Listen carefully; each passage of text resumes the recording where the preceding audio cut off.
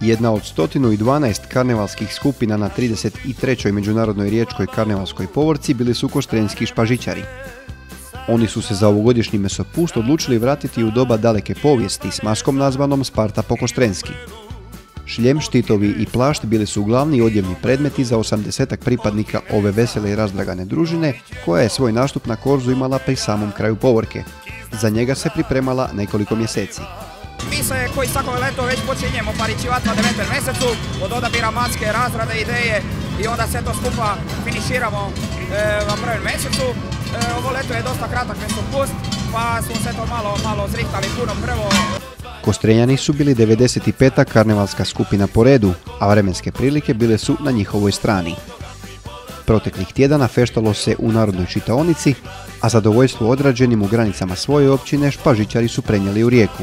Riječ je karnevale kao vrhunac svih događanja maškaranih tu e, na Kvarneru. E, nakon, malo moramo reći, mjesec dan karnevalskih spjevanja maškara i Vakostrene i okolice, e, moramo biti sritni. E, Danaska Udeka je naš je naš ovaj, nekakav vrhunac, tu se Danaska se se Udeka došli predstaviti i ovaj, nadamo se da ćemo se svi skupa zabaviti i koji svi Udeka ljudi koji su nas došli popratiti.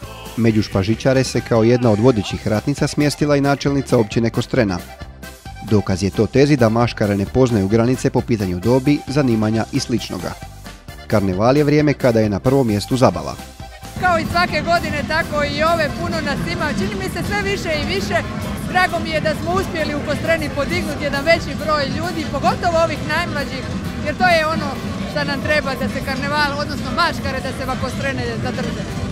Nema maškara bez njihovog meštra ili u ovom slučaju meštrice.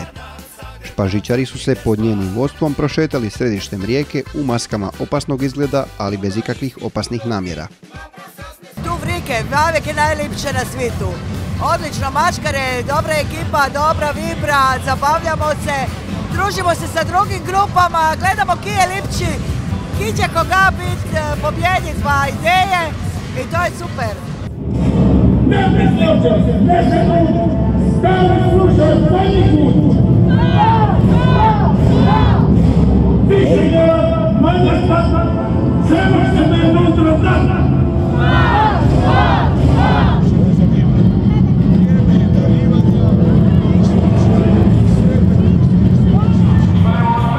I opet goni Riječko kozo, spasitelj Do daske. Dobru će zabavu špažičari pripremiti i za sljedeću godinu, kako u Kostreni, tako i na 34. Međunarodnoj karnevalskoj povorci u Rijeci.